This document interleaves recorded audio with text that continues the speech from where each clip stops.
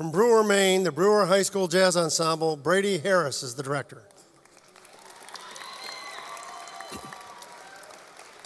They've been coming to the Berklee High School Jazz Festival for 11 years and they've never placed. And this year they not only placed, but they won first place. They also have a one rating in the District Jazz Festival in Maine, and next they'll go to the Maine State Jazz Festival. They're going to do one chart for you called Quiet Time. So let's hear it for the Brewer High School Jazz Ensemble. Thank you. Soloists this evening will be on flugelhorn, Kristen Daigle. Tenor saxophone, Eric Arnold. And on trombone, Kevin Schaefer.